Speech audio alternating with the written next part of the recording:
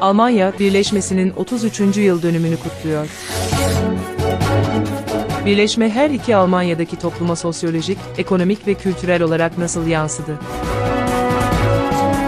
Bayern ve Hessen eyalet seçimleri öncesi yapılan anketlerde, sağ popülist parti AfD'nin oylarının sürekli artması, Alman toplumunda nasıl yankı buluyor? Friedrich Ebert Vakfı yapmış olduğu araştırma ile, Almanya'da aşırı sağcılığın, toplumun merkezine hızla yayıldığını bir kez daha ortaya koydu. Aşırı sağcılığın yayılması önlemek için, siyasilere, sivil toplum örgütlerine, devlet kurumlarına ne gibi görevler düşüyor? Siyasal bilimci Bülent Güven, gazeteci Ahmet Özay, gazeteci Ramazan Kabataş ve gazeteci Mustafa Tığlı'nın katılımlarıyla Avrupa baskısı, Cumartesi 21.30'da Avrupalı Türklerin Televizyonu Kanal Avrupa'da.